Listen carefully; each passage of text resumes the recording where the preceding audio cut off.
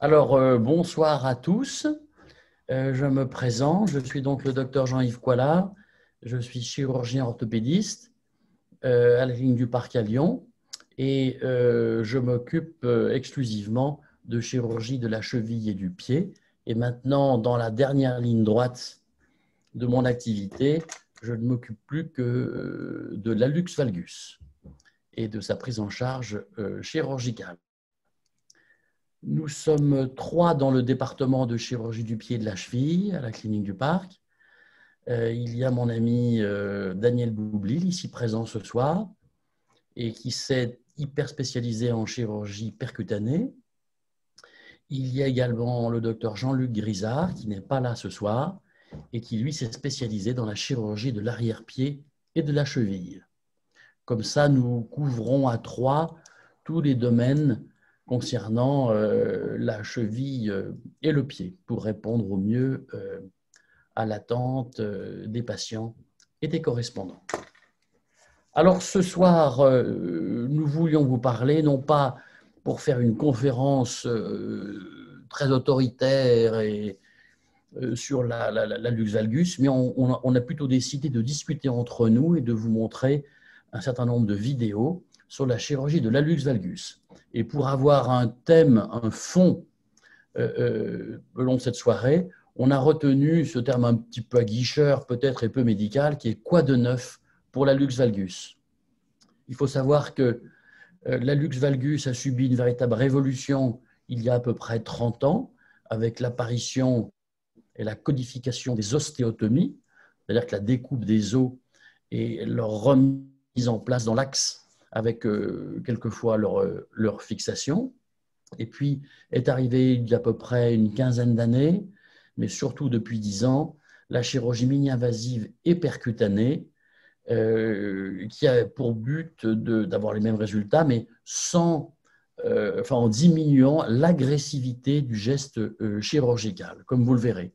Alors moi, je vous montrerai une chirurgie mini-invasive par un petit abord, et, Daniel vous montrera, montrera la chirurgie percutanée. Alors, je vais commencer dans quoi de neuf euh, dans la lux valgus. Donc, pour moi, il y a deux thèmes principaux actuels dans la chirurgie de la valgus qui ont un peu changé nos, nos pratiques. Récemment, c'est la chirurgie mini-invasive et surtout percutanée. Donc, Daniel vous présentera tout cela dans quelques minutes. Moi, j'aimerais vous présenter la prise en compte de l'étiologie responsable de l'allux valgus. C'est-à-dire que euh, jusqu'à maintenant, un valgus était une bosse qui sortait à travers la peau et on la coupait, on la faisait disparaître ou on la poussait très profond et puis voilà. Bon, en fait, euh, c'est intéressant maintenant d'étudier ce qu'est un hallux valgus, pourquoi on a un hallux valgus, et on s'aperçoit qu'il y a en fait un état malformatif et cet état malformatif, eh bien, il faut le corriger si l'on veut avoir un bon résultat et un résultat durable. Si on se concentre sur la radiographie du bas, alors pardon pour ceux qui ne sont pas euh, habitués aux, images chirurgicales, c'est un hallux valgus, c'est un hallux valgus gauche, et comme vous le voyez, il est ouvert, il est exposé. Sur la partie basse et à droite, on a la base de la phalange du gros orteil. Et dans la partie un petit peu plus haute et à gauche, on a la tête du métatarsien. Vous voyez que la surface articulaire de ce métatarsien, c'est-à-dire la partie blanchâtre, n'est pas du tout en face ni au milieu de la tête du métatarsien, mais elle a complètement basculé vers le bas et sur le côté. Voilà, c'est ce qu'on appelle la pronation et la vagisation. Vous comprenez bien que si l'on ne tient pas compte de cet état malformatif et si on ne corrige pas cette malformation, on ne peut pas avoir un résultat, un bon résultat et un résultat durable. D'ailleurs, quand on fait un peu de recherche de la littérature et qu'on essaie de voir pour comparer ces résultats à long terme, surtout dans la chirurgie conservatrice, eh bien, on s'aperçoit que les résultats sont assez médiocres. Euh, à long terme, j'entends bien. Voici ici, à gauche, vous avez un magnifique hallux valgus qui a récidivé Et sur la radiographie, vous voyez que le gros orteil est reparti sur le côté et que la déformation s'est reproduite. Pour nous, ceci est un échec. En revanche, quand on étudie les résultats, toujours à long terme, hein, au moins plus de 10 ans, de la chirurgie non conservatrice, c'est-à-dire lorsque l'on bloque l'articulation, on s'aperçoit que les résultats sont bien supérieurs, bien sûr, au prix de la disparition de l'articulation, mais tout est bien corrigé. Et pourquoi tout est bien corrigé? Eh bien parce qu'on a remis en place exactement comme on doit le faire toutes les pièces anatomiques. Et en plus, dans l'arthrodèse, dans la soudure articulaire, eh bien, on fixe cet état. Et on s'aperçoit que tout, tout est pérenne, tout est garanti. Alors que dans la chirurgie conservatrice, surtout quand on ouvre en grand, si on ne corrige pas bien les pièces, qu'on ne tient pas compte de la pronation et, du valgus, eh bien, on a des récidives. Alors voici un petit peu de littérature. Et si vous regardez surtout en bas du tableau, sur des études internationales à plus de 14 ans, eh bien vous vous apercevez qu'il y a 41 à 75% de récidives en chirurgie classique, c'est-à-dire open chirurgie, mais surtout des ostéotomies qui vont corriger la saillie de la tête sans tenir compte de cette malformation qui est à l'origine de la maladie. Donc, nous ne pouvons pas nous endormir sous nos, sur nos lauriers, il faut se secouer et bien comprendre le pourquoi de la lux valgus et comment on peut traiter ces alux valgus pour qu'ils soient durablement corrigés. Donc, n'ayons pas peur des mots, soigne-t-on bien les alux valgus par la chirurgie, on va dire classique? Eh bien, malheureusement, euh, pas forcément. Et traite-t-on correctement les causes de la déformation? On peut le dire non. Jusqu'à maintenant, on enlevait les bosses ou on les poussait très profondément.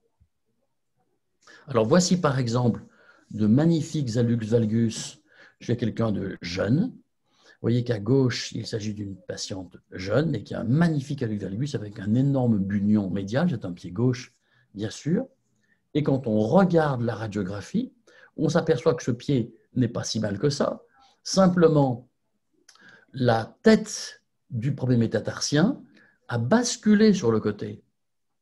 Euh, donc la surface articulaire regarde sur le bord latéral, sur le bord externe du pied. Et de ce fait, le gros orteil, lui, bascule aussi sur le côté. C'est exactement comme une statue qui serait posée sur un socle et le socle serait tordu. Ce n'est pas la statue qui est tordue, c'est le socle. Et donc, il faut corriger le socle, c'est-à-dire qu'il faut corriger la malformation qui se situe dans la tête du premier métatarsien. Voici ici une reconstruction scanner 3D d'un métatarsien. C'est le premier métatarsien d'un pied droit.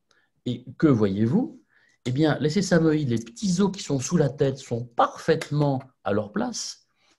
Mais ce qui se passe, c'est que la calotte articulaire qui est au bout de la tête de ce métatarsien ne regarde pas en face, mais complètement, va basculer complètement sur le côté c'est ce qu'on appelle la pronation.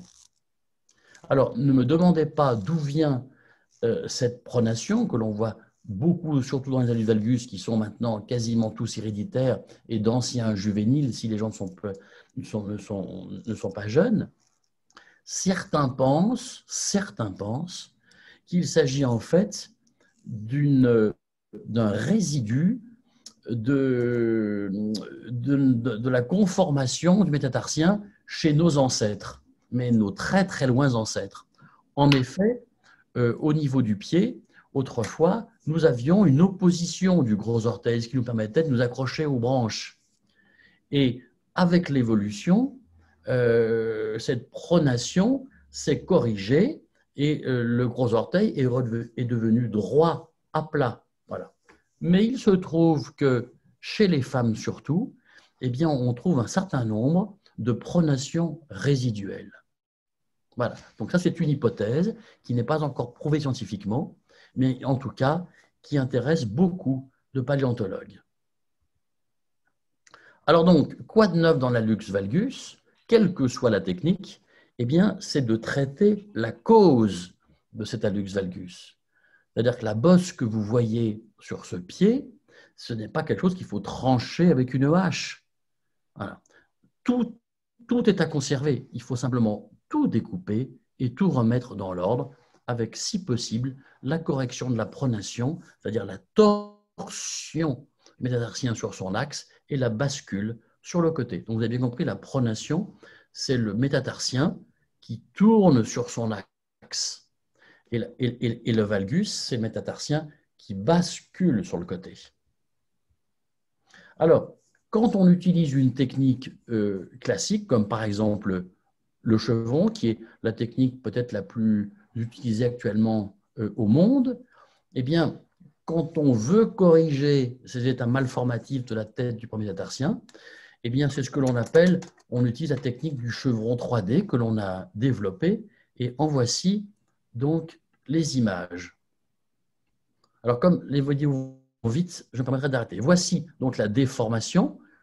Donc, il y a une, triple déformation dans les trois plans de l'espace, ce qui fait qu'on obtient cette malformation, cet hallux valgus, que l'on va prendre en charge. Alors, d'abord, dans un premier temps, on va on va dire, on va en retirer l'exosome entre guillemets qui est sur le bord interne, et puis on va pratiquer nos deux petits euh, tranches à la scie, nos, deux ossotomies qui vont permettre euh, de corriger cette, malformation. Alors il y a d'abord la coupe dorsale, puis la coupe plantaire, mais il ne faudra surtout pas s'arrêter là, parce que dans la technique classique, on pousse latéralement l'os.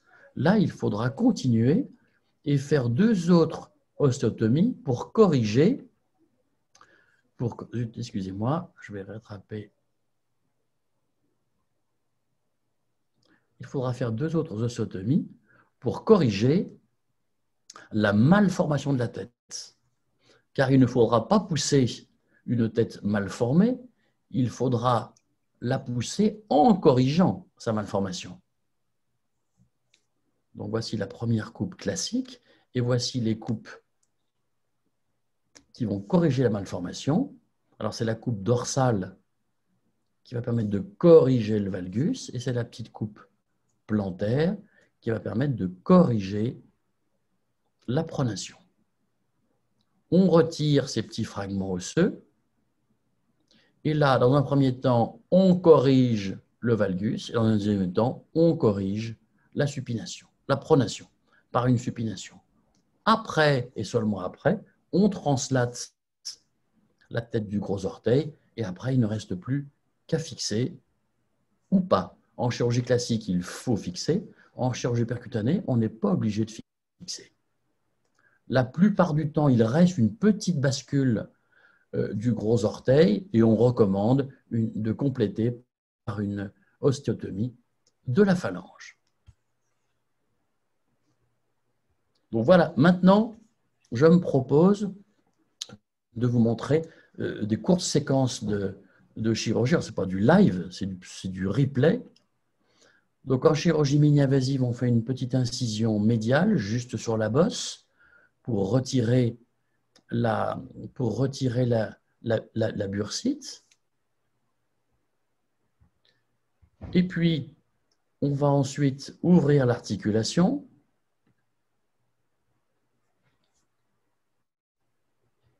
Donc on ouvre la capsule et on expose ainsi l'os. Après, comme sur le film, on va abraser la partie interne de l'os pour avoir une surface propre et qui va nous permettre de tracer nos, traits.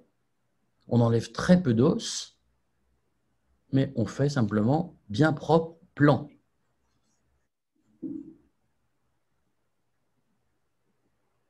Voilà.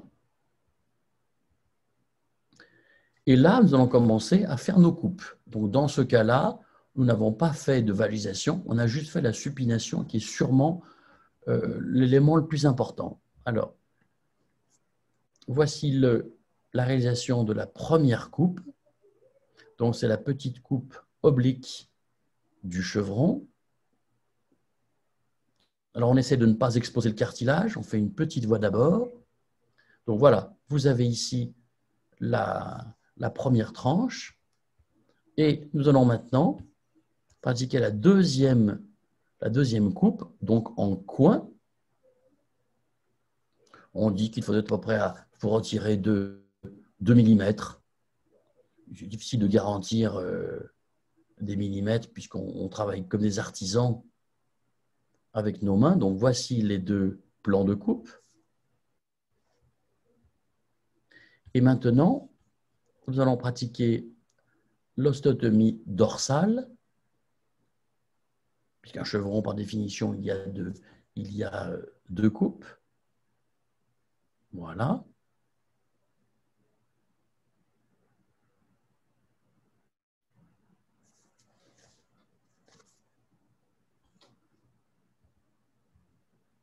Maintenant, nous allons retirer le fragment qui va permettre de réduire la pronation, puisque pour mettre les surfaces en contact, on va donc tourner dans l'axe le gros orteil.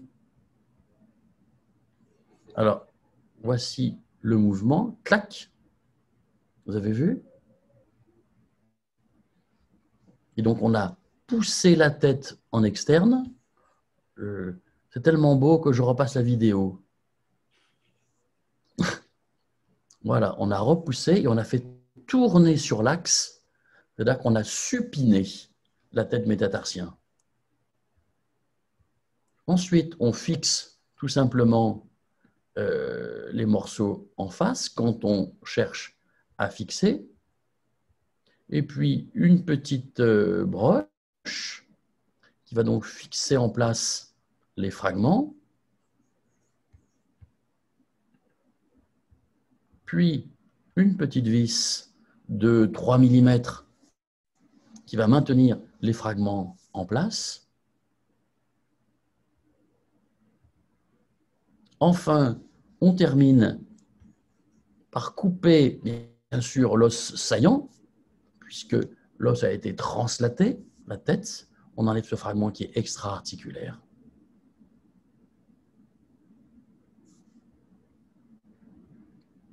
Et voici le résultat juste de, l'ostéotomie. Quand on met en appui, on a pratiquement tout réduit. Mais vous voyez que dans ce cas-là, il reste encore un petit valgus du gros orteil. Il n'est pas articulaire dans l'articulation, mais au-dessus. Et si l'on veut être chic et pas forcément anatomique, en percutané, on fait une petite ostotomie au niveau de la phalange, comme vous l'avez vu sur la vidéo 3D, et on a l'orteil parfaitement droit. Voici par exemple euh, le résultat de cette patiente. Et vous voyez qu'on a. Euh, non, ce n'est pas cette patiente, c'est l'autre côté, parce que c'était le deuxième côté chez cette patiente. Et voici la réduction avec ici la, fixation par deux vis. Alors, quoi de neuf pour la lux valgus? Eh bien, la lux valgus, retenons qu'il s'agit d'une maladie héréditaire. Il y a, dans la majeure partie des cas, il y a une malformation de la tête. Il n'y a pas d'arthrose, mais tout est basculé. Si l'on veut corriger facilement un alux valgus, et si l'on veut que cet alux valgus soit parfaitement droit et stable, et donc reste euh, en réduction, il faut traiter cette pronation, éventuellement cette vagisation. Mais, attention, enfin attention, non, mais cette réduction, quelle que soit la technique, car là je vous ai montré la technique du chambre que c'est la plus connue au monde, mais n'importe quelle technique, ouverte, fermée, percutanée ou pas, fixée, pas, que l'on fasse une autonomie dans la tête ou dans la base, on peut, on peut tout à fait faire cette pronation et cette vagisation et c'est d'ailleurs Daniel qui nous en parlera tout à l'heure. Alors, bonjour euh, à tous. Moi, je suis donc l'associé euh, du docteur Quallard que vous, avez, venez d'entendre. Et euh, je travaille à la clinique du parc avec lui depuis 12 ans. Donc, vous imaginez bien que on a eu l'occasion depuis le temps de beaucoup échanger sur ce sujet qui est un peu notre dada, hein, tous les deux. Et euh, j'ai bien sûr énormément travaillé appris à son contact. Et c'est vrai que l'un des sujets qui nous a un peu interpellé sur la Lux Valgus, c'est cette question de correction pérenne lorsqu'on fait un blocage de l'articulation et euh, euh, le fait que, effectivement, avec les ostéotomies classiques, sans corriger la composante rotatoire, finalement, on n'a pas une correction pérenne et parfois même euh, des échecs chirurgicaux. Et les différentes méthodes auxquelles on a réfléchi pour essayer d'obtenir des, corrections qui, qui, soient stables dans le temps, c'était euh, soit effectivement se tourner vers le blocage articulaire, mais c'est un peu une solution euh, du passé, puisque euh, ça a été historiquement la première méthode qui a réellement fonctionné sur la correction de la luxe valgus, qui a d'ailleurs été développée par un chirurgien lyonnais célèbre dans le monde entier, qui est le docteur Gauthier. Mais on a essayé aussi, euh, à côté euh, de ces résultats-là, de, proposer à nos patients une correction qui soit également pérenne, mais en conservant euh, l'articulation et donc en essayant de s'orienter vers une méthode la moins invasive possible. Alors on vous passe un peu les, différents périples par lesquels on est passé, les, les différents euh, voyage qu'on a pu effectuer pour essayer de, de, se renseigner et de voir un peu euh, ce qui se faisait de par le monde. Parce que c'est vrai que, euh, comme vous avez pu le voir dans les tableaux de la littérature, souvent les techniques chirurgicales sont décrites de manière très laconique par une ostéotomie distale, ce qui ne veut pas en fait dire grand-chose, puisque des ostéotomies distales, il en existe au moins trois ou quatre types, euh, avec euh, des variantes, euh, des petits secrets, des gestes tendineux associés. Et une des méthodes qui, paradoxalement, nous a paru finalement peut-être la plus fiable, c'était justement une méthode qui soit la plus naturelle, c'est-à-dire la moins invasive. et c'est ce qui nous a conduit à ce que je, je, je, passe différentes formations et que je développe de mon côté, une chirurgie qui est globalement assez similaire à celle que pratique Jean-Yves Coilard, mais en conservant une gaine musculo-tendineuse tout autour de l'articulation euh, la plus euh, intacte possible. Pour deux raisons. D'abord, parce que euh, on espère, en maintenant tout l'environnement osseux et articulaire, avoir une grande stabilité de montage et donc se dispenser de la fixation par vis. Et aussi parce que on part de l'hypothèse que euh, tout le système tendineux et musculaire est correctement orienté dans la lux valgus et que la déformation est pratiquement purement ostéo-articulaire et que donc finalement, si on opère des coupes et qu'on laisse les muscles agir, finalement, on a le sentiment qu'ils remettent finalement les choses, les pièces osseuses, à leur juste place. Et donc, euh, l'idée euh, découle du fait que finalement, c'est l'usage musculaire, le mouvement, le pas qui va finalement régler l'ostéotomie. Alors pour ça, euh, au départ, c'était un peu compliqué puisqu'on n'avait pas forcément les outils. Heureusement, les industriels nous ont développé toute une série de mini-instruments dont vous voyez ici euh, une collection assez terrifiante hein, en grossi. Mais il faut vous dire que le diamètre moyen de ces outils-là, c'est environ le millimètre. Hein. Ce sont des outils millimétriques qui, sont, qui évoquent plutôt des instruments de chirurgie dentaire que les outils classiques de chirurgie orthopédique que vous avez pu rencontrer dans les blocs. Alors les principes, c'est limiter donc de la chirurgie percutanée, c'est de limiter l'agression chirurgicale des tissus mous, euh, obtenir une réduction pérenne, c'est un peu le Graal dans la lux valgus, euh, et là dans la technique que moi j'utilise, euh, une chirurgie qui se fait sans ostéosynthèse avec uniquement une contention externe. Et tout ça, ça a été permis par une vision innovante de l'anatomie euh, tel que vous l'a montré Jean-Yves Pollard avec des scanners 3D et puis également beaucoup d'études anatomiques qui ont été faites euh, notamment par les équipes barcelonaises. Alors, je vais à mon tour essayer de vous passer un film. Alors, est-ce que ça... Non, ça ne marche pas.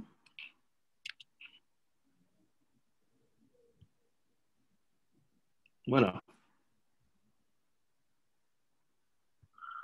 technique. Voilà, alors je vais vous présenter donc la technique de chirurgie percutanée. Là, vous voyez une table avec les instruments. L'anesthésie est une anesthésie purement locale, donc qui peut être faite sous sédation. Les incisions, vous voyez, sont de petite taille. On commence par faire un petit trou à la base de la bosse et à décoller la capsule articulaire. Puis, on va faire en fait ce que fait le docteur Quallard, c'est-à-dire euh, poncer, faire disparaître la bosse. Avec, euh, pourquoi vous avez mon doigt qui cache tout? C'est parce qu'en fait, euh, mon doigt, c'est mon œil. C'est comme ça que je vois. Donc, on enlève les petits résidus osseux qu'il peut y avoir. Et là, vous allez, grâce à un appareil de radio, on va pouvoir vérifier qu'on a suffisamment retiré d'os et vous voyez là sur la coupe radio que l'os est en pan coupé. Et maintenant, on va réaliser des coupes en chevron. C'est bien que Jean-Yves vous les ait montrées, puisque maintenant vous avez une idée de ce qui se fait, mais à travers ce trou de quelques millimètres et avec une petite fraise. Donc on coupe en dorsale et en plantaire. Et là, vous allez voir ce que ça donne sur un film radio. Vous voyez les fragments osseux qui bougent les uns par rapport aux autres. Et vous voyez mon doigt qui réduit la déformation. Voilà. Alors on va également faire le petit geste sur la phalange que vous avez vu faire, qu'on peut faire de différentes importances et qui nous permet de finir de réduire. Voyez, on pourrait même exagérer la correction, bien évidemment, on ne le fait pas parce qu'on est des gens raisonnables. Ça, c'est l'aspect final. Vous voyez que les incisions sont minimes. Et en fait, euh, le moment presque le plus important, c'est maintenant le pansement. C'est un peu le contraire de la chirurgie classique. Le pansement n'est absolument pas confié à l'assistante. C'est moi qui le fais. Et justement, c'est maintenant que, grâce aux coupes qu'on a faites, on va imprimer au pied des contraintes par l'extérieur qui vont l'obliger finalement à consolider dans l'axe. Alors au départ, c'est un bandage. Ce bandage, on le garde pendant huit jours. Et au bout de huit jours, je change moi-même mon pansement parce que j'aime bien contrôler. Et euh, c'est remplacé par des attelles amovibles à velcro. Et là, vous avez donc la correction complète de la déformation. Alors, les indications du percutané, parce que souvent les gens me demandent euh, est-ce que c'est possible pour moi? Alors, j'ai un peu modifié mon topo au fil des années, parce que euh, pendant des années, euh, par prudence, on se cantonnait au cas minime, aux petites déformations, mais en fait, avec le temps, on s'est rendu compte que la correction en trois dimensions, telle que vous l'a montré Jean-Yves Poilard, est parfaitement possible en percutané, puisqu'on peut utiliser des fraises de différents diamètres et faire des coupes asymétriques en interne et en externe du pied pour finalement obtenir euh, le même effet de supination. Donc on peut faire l'effet rotatoire sur la luxation congénitale, donc chez des sujets assez jeunes. On peut également faire cette technique, et ça c'est un peu l'innovation, et c'est ce dont je me suis aperçu avec le temps, sur des grosses déformations, des, grandes, des grands alux valgus, même un peu des cas désespérés, euh, parce que finalement, la translation est moins limitée qu'en chirurgie classique, puisqu'il n'y a pas besoin d'avoir un chevauchement osseux suffisant pour mettre une vis, étant donné qu'on n'en met pas. Donc on peut parfaitement, euh, du fait de l'absence d'ostéosynthèse, corriger des alux valgus euh, vraiment extrêmement importants avec des déformations quasi luxées. Bien évidemment, on peut faire l'alux valgus commun et on peut, ça aussi c'est une euh, découverte récentes. On peut proposer, dans le cas un peu particulier qui ne nous occupe pas vraiment aujourd'hui, mais qui est souvent confondu avec la luxe valgus, dans le cadre d'une arthrose, on peut proposer ce qui s'appelle un émondage en chirurgie euh, classique, c'est-à-dire euh, supprimer une barre d'ostéophyte qui euh, fait conflit dans la chaussure et qui empêche le mouvement de l'articulation. Alors, il faut bien évidemment prévenir les, patientes que ça ne solutionne pas l'arthrose, puisque ça, il n'y a que l'arthrodèse qui le ferait, mais ça peut reporter cette arthrodèse et permettre, par exemple, à une personne euh, de la soixantaine ou même qui, soit à 70 ans très actif, eh bien, de finir sa carrière sportive ou de loisirs euh, et finalement de n'avoir une arthrodèse que bien plus tard. Alors là, vous avez un exemple de chirurgie percutanée euh, juvénile, hein, de la même façon que vous l'avez vu avec, euh, maintenant vous, maîtrisez bien cette orientation fautive de la, surface articulaire du premier métatarsien, qu'on arrive à corriger à la fois en translation et en rotation. Alors il y a à mon sens, pas mal d'avantages. Euh, une diminution du risque infectieux qui est toute relative, puisque euh, Jean-Yves, qui est modeste, ne vous a pas dit qu'il n'y a quasiment pas, euh, dans les techniques ouvertes telles qu'il les pratique, avec des incisions minimales, il n'y a pratiquement pas d'infection nosocomiale. Mais sur le plan théorique, c'est vrai que le fait qu'il n'y ait des ouvertures millimétriques et surtout pas de matériel d'ostéosynthèse, ça rend les choses plus simples en cas d'une très rare infection. Ça permet de donc de ne pas faire d'arthrodèse, de préserver la mobilité et la souplesse. Bon, l'avantage esthétique, je passe dessus parce que ça reste quand même euh, une articulation euh, du bout du pied, donc ce n'est pas vraiment non plus une zone euh, qui se, montre beaucoup. C'est une chirurgie qui est extrêmement bien adaptée à l'ambulatoire et qui n'est pas un blocage définitif et qui a assez peu de complications. Alors l'inconvénient, c'est que ce n'est pas quand même une technique à mettre entre toutes les mains. Euh, souvent, le, chiffre qui est avancé, c'est de dire qu'à moins de 50 cas par an, il peut recommander de faire ce, genre de technique, puisque, euh, comme vous l'avez vu, la vision n'est pas directe, les trous sont trop petits pour mettre une caméra, euh, donc il faut avoir une très très bonne connaissance de l'anatomie locale, une palpation, une habitude de la palpation, et puis euh, utiliser des outils techniques tels que vous avez vu l'amplificateur de brillance qui n'est pas euh, présent dans tous les blocs, en tout cas euh, souvent pas, des, pas des, instruments qui soient à, faible rayonnement. Alors, les complications qu'il peut y avoir, c'est essentiellement les pseudarthroses ou des corrections en mauvaise position. Mais ces complications sont essentiellement dépendantes de la compliance du patient. C'est pour ça que c'est une chirurgie qui nécessite beaucoup d'explications avant, pendant, après, et euh, de garder contact avec ces patients parce que pendant tout le temps de la consolidation, quand ils porteront leur pansement et leur attelle, ce sont eux-mêmes qui vont orienter leur hallux, leur orteil, qui vont faire des mouvements de rééducation précoce de manière à ce que leur correction soit la meilleure possible. Et s'ils ne sont pas guidés dans, ce, dans cette démarche, eh bien, ils peuvent se mettre euh, en triple retrait, avoir euh, des, euh, des corrections qui soient très mauvaises, ou dans, un cas, dans le cas de la pseudarthrose, il peut y avoir aussi une chose très très importante dont il faut leur parler, c'est que le tabagisme est absolument proscrit parce que ces ostéotomies du bout du pied ne consolident pas, en l'absence de d'oxygène. Et donc, euh, s'il n'y a pas de, bonne oxygénation du membre, euh, dans le cadre d'un tabagisme, il peut y avoir des pseudarthroses et passer un certain délai, elles deviennent définitives et requièrent cette fois-ci des greffes, qui sont des opérations très lourdes. Alors, il existe évidemment des complications aspécifiques, mais qui sont propres euh, à toute chirurgie du pied. Alors, un exemple, voilà, un hallux valgus sévère, juvénile, avec une correction assez assez bonne et surtout une très très bonne fonction du gros orteil. Là, vous avez un, cas avec un pied opéré et un deuxième qui ne l'est pas encore.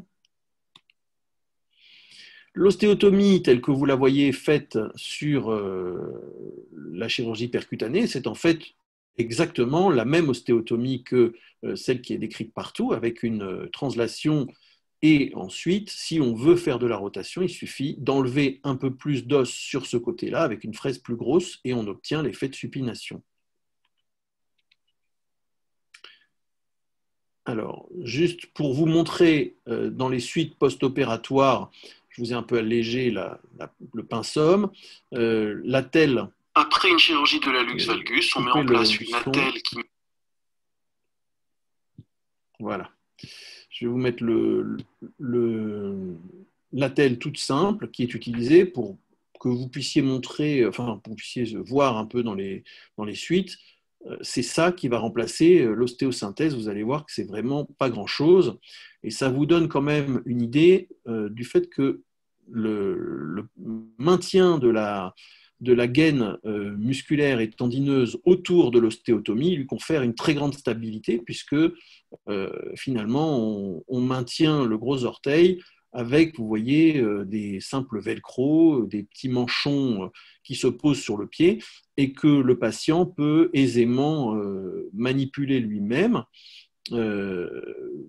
notamment pour prendre des douches euh, après le septième jour. Il peut laver son, pied, donc retirer la telle, remettre la telle, euh, bouger un peu ses orteils. Tout ça, euh, c'est possible, mais le, maintien est quand même assuré par le port presque 24 heures sur 24 de ce genre de petits dispositifs. Voilà, ces dispositifs qui sont fournis bien sûr par nous et jetés après chaque opération. Je vous remercie.